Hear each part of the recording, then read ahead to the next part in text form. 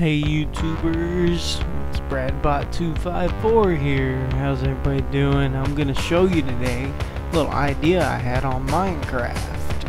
Uh, I was had an inspiration on some YouTube videos on how to do this, so I was uh, playing around and I figured out a nice little uh, combination lock. So this this room's very crude, sorry for it, but uh, so here's my little entrance way. Um, you could have it just a regular door, anything you want. And there's my combination lock. This is a nine digit combination lock. I only use four digits to actually open uh, or unlock the, the door. So uh, here I'm just pressing it away, showing you that nothing works. Press it all you want until you enter in this right code, or you can make this any code you want, really.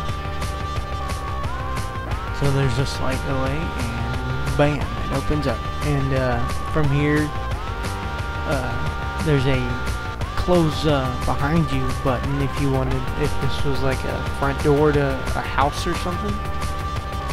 You can close it behind you.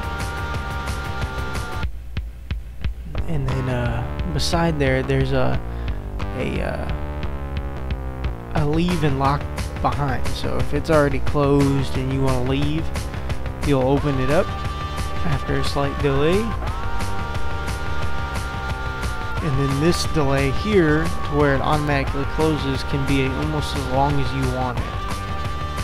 Now it's locked and closed and uh, you'd have to re-enter in the keypad to get back in.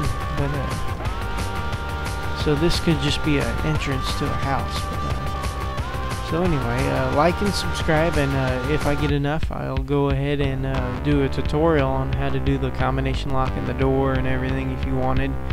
Doesn't matter. Yeah, so like I said, uh, like and subscribe. I'd love to get the tutorial out of here and uh, how to show everybody how to do this. So, uh, till next time. Later.